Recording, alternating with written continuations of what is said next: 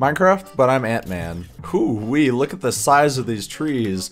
Oh yeah, I'm Ant-Man. I can shrink and grow. And of course my goal is to get a golden apple, but today I'm Ant-Man. This is so cool. I can go super small and like even swim super small. Wait, I can't swim like this. What? Oh, and I have x-ray. That's cool. I already broke the mod. well, I guess it would be a good idea to find where a cave is. Oh, I can go over there. Let's go. And look at that. I saw that through the ground. This mod's broken. well, I already got my iron, so that's pretty cool. Now I just gotta find gold. Oh, hey, skeleton. Oh, can you even see me? I bet not. Ha, I'm so overpowered. You know, I might just stay like this. Nothing can hit me.